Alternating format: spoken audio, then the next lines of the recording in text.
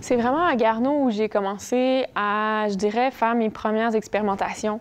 Euh, c'est avec mon année en 2005 qu'on a fondé la, cellule Kino Garneau et on a commencé à faire des courts-métrages, euh, mes amis, et euh, à juste tester des choses, puis à, à, pouvoir le montrer aussi à un public. Parce qu'à un moment donné aussi, de faire des films, euh, ben, c'est le fun d'avoir une réaction. C'est vraiment là que tu comprends qu'est-ce qui fonctionne bien, qu'est-ce qui fonctionne moins bien.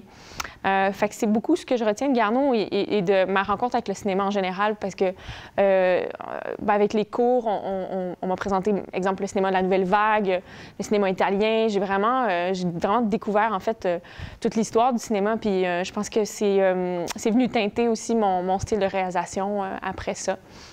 Euh, pour moi, Garneau, euh, sincèrement, j'en garde euh, beaucoup d'acquis, je dirais, de, d'analyse de, cinéma, de comprendre un scénario. je pense que j'ai, compris c'est quoi, en fait, c'est oui, c'est ça, comment on construit un scénario. Et je l'ai compris ici, beaucoup. Et ça m'a permis de commencer à écrire mon premier long, métrage, Sarah préfère la course. Et ça a été mon premier contact avec des caméras aussi. Je, je, je me souviens plus exactement euh, quelle caméra on avait dans ce temps-là, mais d'apprendre de, à, à, comprendre comment fonctionnent les lentilles, les différentes lentilles, des choses comme ça que je me sers euh, évidemment tous les jours dans mon métier aujourd'hui.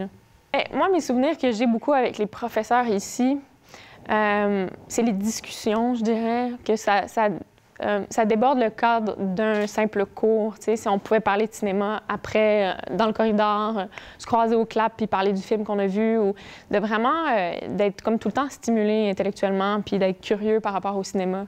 Je pense que c'est beaucoup ça, les relations qu'on a développées. Oui, qu'est-ce que tu conserves de ton cours d'histoire du cinéma?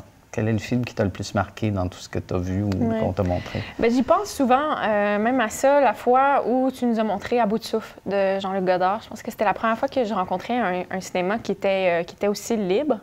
Euh, j'étais habituée au cinéma classique avec les codes conventionnels du cinéma. Puis là, ben, je découvrais quelqu'un qui s'écoutait, qui était intuitif. et je sais pas, j'ai l'impression de trouver ma voix. ça a vraiment, oui, ça a été un beau déclic. Euh, puis après ce film-là, j'ai juste voulu en connaître plus. J'ai vu d'autres films, La Nouvelle Vague. Je me suis intéressée à un cinéma international aussi un peu plus. Puis je pense que ça a beaucoup nourri euh, mon type de réalisation aujourd'hui. Merci.